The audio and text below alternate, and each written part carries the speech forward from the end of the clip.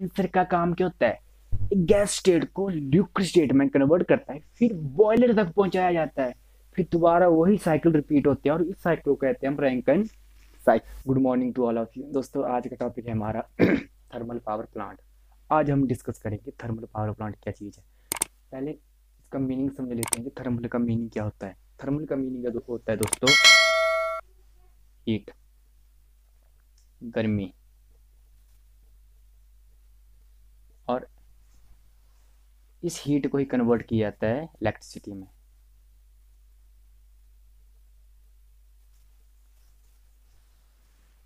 Thermal power plant ऐसा electricity का पौधा है, जिसमें पानी को यूज़ किया जाता है फ्यूल की तरह, पर सोर्स है।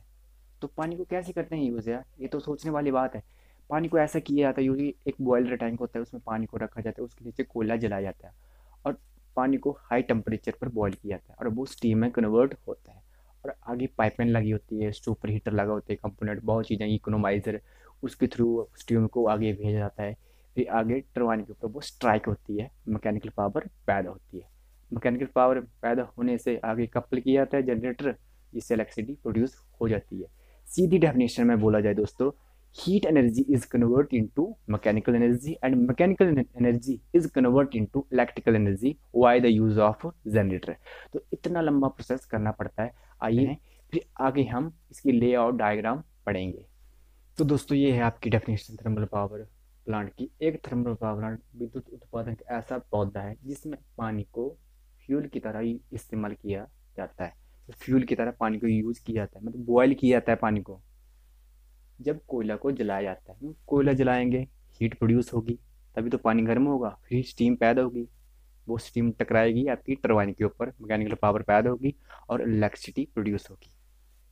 और heat energy convert into mechanical energy and that energy convert into electrical energy by the use of generator thermal power plant में हीट के बहुत सोर्स हैं जैसे फॉसिल फ्यूल हो गया आपका यू पावर प्लांट में फिर डीजल पावर प्लांट वो हीट से सन सन सोलर सिस्टम उसमें भी आपका हीट का बहुत बड़ा रोल है। वो भी थर्मल पावर स्टेशन में ही आते हैं। ये था आपका थर्मल पावर प्लांट की डेफिनेशन सिर्फ़ हीट का बहुत बड़ा रोल है। हीट को कन्वर्ट किया जाता है स्टीम में। स्टीम बनाना पड़ती है उसकी स्टीम और वही स्टीम टकराती है आपकी टर्बाइन के ऊपर। और टर्बाइन रोटेट होता है। रोटेट होता है और जिससे वो इलेक्ट्रिक एनर्जी में कन्वर्ट होता है by the use of generator आइए इसकी लेआउट डायग्राम बनाते हैं। फिर मैं आपको समझाता हूँ कि कौन कौन से कंपोनेंट यूज़ किए जाते हैं थर्मल पावर प्लांट में। और इनका कितना बड़ा रोल है? आइए डिस्कस करते तो दोस्तों, अभी हमने डेफिनेशन के बारे में डिस्कस किया, ये थी थर्मल पावर प्लांट की डेफिनेशन दोस्तों, आइए ले और डायग्राम के बारे में डिस्कस करते हैं और इसमें कौन कौन से कंपोनेंट यूज़ किए गए हैं। तो दोस्तों, सबसे पहले हम पढ़ेंगे कोयले के बारे में। तो दोस्तों, ये पिक्चर में देखो, ऐसे लाया जाता है कोयला ट्रेनों के ज़रिए और कोयला स्टोर में रखा जाता है। फिर उसको कोल्ड हैंडल तक पहुँचा उसके टुकड़े किए जाते हैं छोटे छोटे फिर उसको बॉयलर में रख कर जलाया जाता है। फिर आगे यू सेप की ट्यूबें होती हैं, उसे जिनको पानी से भरा जाता है। फिर इस पानी को हाई टेम्परेचर पर गर्म करके इसकी स्टीम बनाई जाती है। फिर इस स्टीम को सुपर हीटर में गुजारा जाता है। सुपर हीटर का काम ये होता है सेम टू सेम स्टीम आगे बेचता है। स्टीम में कुछ भी चेंज नहीं करता। है एक काम होता है स्टीम का। और यहाँ से गर्म स्टीम आ रही है तो बिल्कुल आगे गर्मी मिलेगी, ठंडी नहीं मिलेगी। तो ये काम होता है सुपर हीटर का। आगे लगा है आपका टरबाइन टरबाइन का काम क्या होता है? स्टीम टकराएगी आपकी टरबाइन के ऊपर और टरबाइन मैकेनिकल पावर पैदा करेगा और convert into electrical power by the use of generator जो बच गई स्टीम उसे एग्जॉस्ट कर दिया जाता है। ये देखो एग्जॉस्ट कर दी। और कंडेंसर में गुजारा जाता है। कंडेंसर का काम क्या होता है?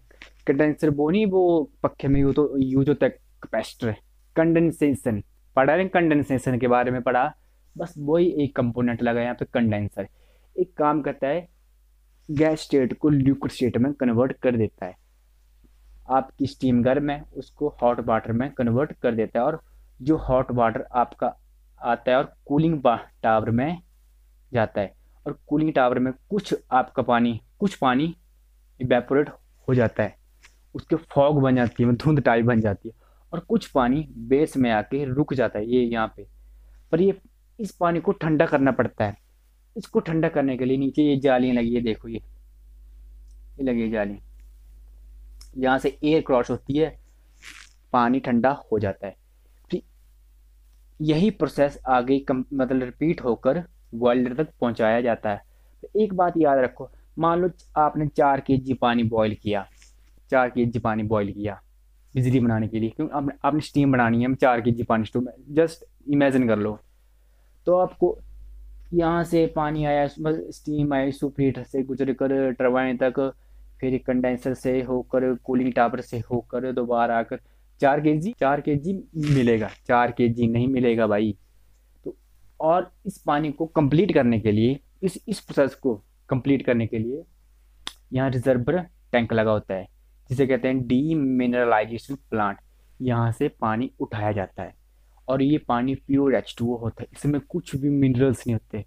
एक बात याद रख लो यार, आप घर में बर्तन लेना, उसमें पानी डालना और उसमें कुछ इम्प्योरिटी ऐड करना, वो कभी भी स्टीम नहीं बनाएगा। इसलिए यही प्रोसेस है इसमें भी। इसमें इम्प्योरिटी निकालना पड़ती है। अगर इम्प्योरिटी रह गई बीच में तो आपकी स्टीम कभी नहीं बनेगी, क्योंकि ये पानी यूज़ होगा बॉयलर में। यहाँ तक पहुँचेगा ये पानी। तो यहाँ से पानी उठाकर कूलिंग टावर से होकर कंडेंसर से होकर लो प्रेशर हीटर तक पहुँचता है और यहाँ से आपका प्रोसेस हो जाता है स्टार्ट पानी को गर्म करने का। आगे लगा है फ़ीड पंप आगे और एक और प्रेशर हीटर लगा है। इसका काम भी पानी को गर्म करना होता है। तो इस पानी को इकोनोमाइजर तक पहुँचाया जाता है। इकोनोमाइजर का काम क्या होता है? पहले से ही पानी को गर्म कर देता है ठंडा नहीं रखता है, पानी को गर्म रखता है बिल्कुल गर्म रखता है। इस इकोनोमाइजर से होकर पानी एयर प्री हीटर इसका काम क्या होता है पानी में गर्मी पैदा करता है ज़्यादा, पानी को और गर्म करता है, फिर पहुँचाया जाता है बॉयलर में, कि अगर यहाँ से भी सीधा ठंडा पानी आ जाए बॉयलर तक पहुँच जाए तो बॉयलर को दिक्कत है यार, और कोयला आपको कमर्शन करना पड़ेगा, जलाना पड़ेगा कोयला, तब जाके स्टीम बनेगी। तो पहले से प्रोसेस स्टार्ट करना पड़ते हैं कंपोनेंट लगाना पड़ते हैं जैसे हीटर लगे हाई प्रेशर हीटर लगे इकोनोमाइजर लगा है एयर प्री हीटर लगा है ये मतलब गर्मी पैदा करता है ज़्यादा गर्मी पैदा करता है ये काम होता है एयर प्रीहेटर का। वेस्ट गैसेस है चिमनी के थ्रू बाहर निकाल दी जाती हैं।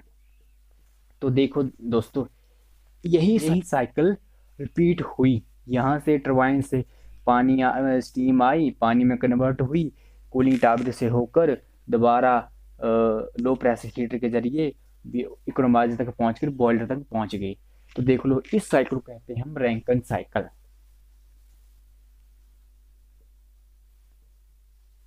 साइकिल को कहते हैं हम रैंकन साइकिल तो इतना लंबा प्रोसेस करना पड़ता है? देखो, पानी इन्होंने ज़रा वेस्ट नहीं किया। पानी की इन्होंने कोई वेस्टेज नहीं की। यहाँ से पानी स्टीम निकली और वही स्टीम जो यहाँ पे एग्जॉस्ट हुई, उसी स्टीम को यूज़ करके बॉयलर तक पहुँचाया गया। दोबारा दोबारा वही प्रोसेस बार बार वही प्रोसेस रिपीट होता है और इस प्रोसेस को कहते हैं हम रैंकन साइकिल तो ऐसे बनाई जाती है बिजली भाई थर्मल पावर प्लांट से। और एक बात याद रखना, इसमें प्योर एच टू होता है। इसमें कुछ भी इम्प्योरिटी नहीं होती। प्योर एच टू लेना पड़ता है, यही स्टीम बनाएगा। अगर इसमें कुछ इम्प्योरिटी होगी, आपका स्टीम कभी नहीं बनेगा। कभी नहीं बनेगी स्टीम यार।